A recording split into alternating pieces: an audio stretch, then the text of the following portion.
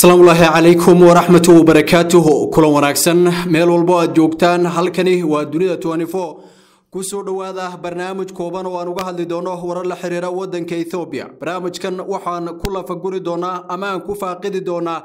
Sida aad la wada socoteen dhowaan ra'iisul wasaaraha wadanka ethoobiya abiy axmed cali waxa uu magacaabay markii ugu horeysayna uu noqonayaa madaxweyne in looga magacaabo adhisababa dowla degaanka tigrayga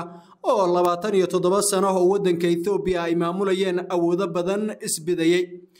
kadib laba sano oo dagaalo xoogan ee halkaasi ka socdeen heshiis ayaa la gaaray heshiiskaas waxaa ka mid ahaa in dowlad kumeelgaara dowla degaanka tigrayga laga dhiso dowladdii kumeelgaarka ahayd kooxda t b l f. Waxay isku dayeen inay iyagu maamul dhisaan laakiin dowladda ayaa ka diiday kadib markii ay arrintaas soo baxday ra'iisul wasaaruhu wuxuu u diray wafdi uu hogaaminaya wasiirka gaashaandhigga wadanka ethoobiya oo ka soo jeeda dowla degaanka tigrayga. Waxa uuna u sheegay waxa ay samaysteen inuusan sax ahayn laakiin ay muhiim tahay in ra'iisul wasaaraha arrinta lagu celiyo. Markii arrintaas lagu soo celiyeyna sidii ay doonayeen ayuu u yeelay oo gataajo ridha ninkii markii horetaba ayagu soo jeediyeen ayuu u magacaabay.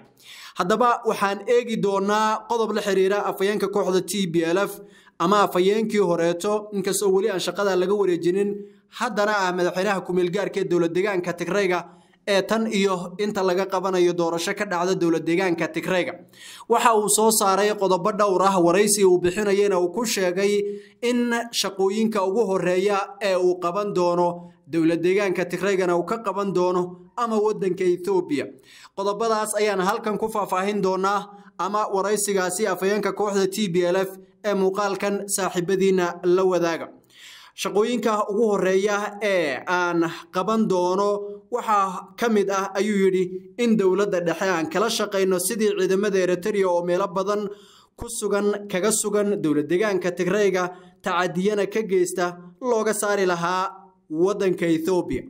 waa qodob aada muhiim u ah marka la fiiriyo in dowla degaanka tigraygu in muddo aba eritrea ku eedeynayay inay deegaankooda ku sugan yihiin xoogna ku joogaan tacadiye iyo dhibaatooyinna ay ka geystaan laakiin dowladda eritrea waa ay beenisay arrintaasi marar kala duwan reer galbeedka oo ku eedeeyey xitaa way ku gacan sayrtay dowladda ethoobiana marna ma aysan si cad oo toosa eritrea u dhihin waddankanaga nooga bax umana ayna sheegin inay dagaalka ka taageerayso iyo inay ku sugan tahay qaar ka mid a deegaanada tigrayga midna. Afayeenka kooxda waa afayeenkii hore kooxda t b l f ahna madaxweynaha kumeel gaarka gataajo ridha ayaa waxa uu sheegay dhinaca kaleeto in ciidamada deegaanka amxaarada loo baahan yahay in ay ka baxaan dhulka tigrayga. Qodobka labaad ama shaqada labaad ee uu qaban doono waxa uu ku sheegay dowla deegaanka amxaarada ciidamadooda oo ku sugan gobollada raaya walkayd oo gobolka raaya uu yahay kuwa isagu deegaan ahaan ka soo jeeday qoomiyadda raayuhu ay degaan kan kaleetana uu yahay gobolka qoomiyadda wallahu ay degaan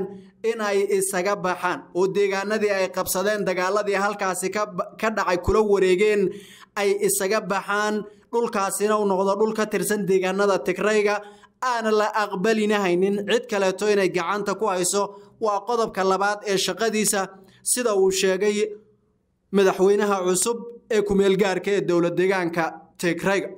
qodobka kaleeto waxa uu ku sheegay in uu soo celin doono dadkii kala duwanaa ee ka barakacay dowla deegaanka tigrayga ee ama dibadda ama deegaanada kala duwan amaba magaalooyinkoodii intay ka barakaceen magaalooyin kale ku barakacay. Waxa uuna sheegay in ay tahay tallaabo kaleeto oo muhiim ah oo uu qaadi doono haddii uu shaqadan ee si toosa marka uu bilaabo ama waxyaabaha ugu horreeya ee uu shaqadiisa ka bilaabi doono waxa uuna sheegay inuu u baahan yahay garab in lagu siiyo arrimahaas iyaga waxa uu sheegay qodob kaleeto oo afraad oo ah in uu soo celin doono kaabayaashii dhaqaalaha iyo dibudhis ballaaran oo uu ku samayn doono dowla deegaanka tigrayga isagoo sheegay inuu ka bilaabi doono adeegyada aas-aasiga ah ee ku burburay dagaaladii dhowaan ka dhacay dowla deegaanka tigrayga. Waxa uuna sheegay in loo baahan yahay inay marka horeeto dadka iyo deegaanka nafta lagu soo celiyo korra loo qaado noloshooda adeegyada aas-aasiga ee muhimkaana ay dadku helaan haddii ay taasi dhacdana laga baaqsan doono dhibaatooyinka kaleeto oo dhan ayna ku dadaali doonaan arrintaas iyadaa sida uu gataajow ridha hadalka u dhigay. Afhayeenkii hore ee kooxda t b l f haatanna madaxweynaha dowlad deegaanka tigrayga ee kumeelgaarka ee dhowaan uu ra'iisul wasaare abiy axmed magacaabay ayaa waxaa horyaala shaqooyin culus. Inkasta oo uu qodobadaas dhowrkaa sheegay in uu qaban doono ayna ugu muhiimsan tahay dowladda in uu la shaqayn doono aqbalayna inkasta uu ku xiray shardiga ah in ay ciidamada eritrea isaga baxaan dowlad deegaanka tigrayga. Laakiin waxaa loo arkaa ninkan inay muhiimad gooni ah u leedahay inuu xilligan madaxweyne noqdo ra'iisul wasaare abiy axmed sababtu waxay tahay inuusan ka soo jeedin qowmiyadaha laandheeraha isku sheega ama qowmiyadda tigrayga oo weliba iyaga laftooda dhexdoodu ay isa sii kala reebaan oo laangaabba tahay iyo laandheera tahay ay isdhahaan sida soomaalida oo kaleeto ee uu ka dhashay qowmiyad kaleeto oo raayo la yidhaahdo laakiin dowlad deegaanka tigrayga dadka awoodda kuleh ama wax kuleh ka mida.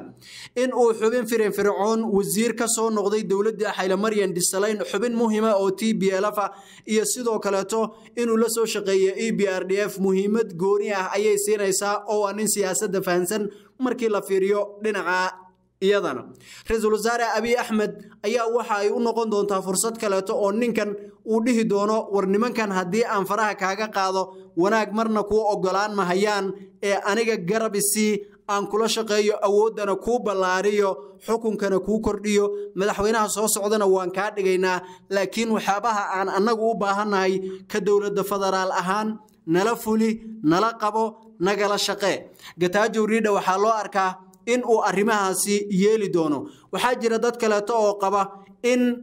ay dhagax taabasho iyo tantoomo waa isugu mid. Gataajow riidha iyo mas'uuliyiinta t b l f haba yaraatee inaan laga gudbin karin wax danaha deegaanada tigrayga iyo dadka tigrayga la xiriira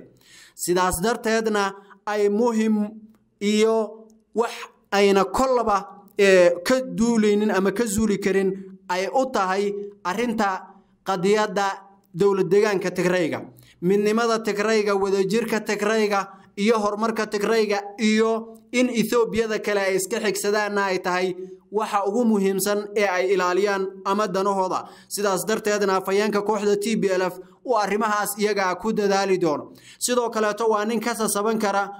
ra'iisul wasaare abiy axmed kana xodxodan kara waxyaabaha kala jira dhinaca dowladda federaalka maadaama uu xubin muhiima ka ahaa guddigii wadahadalada dhinaca kaleeto waa nin fahansan wixii lagu wada hadlay iyo wixii iman kara ama gadaal ka soo bixi kara. Sidaas darteed iyadana dowlad deegaanka tigraygu waa sababta ugu weyn ee dhinacyadu ay ugu wada kalsoonaadeen. Isagana inuu muhiim yahay maadaama ah ninkii nabadda soo qaatay wixii lagu heshiiyey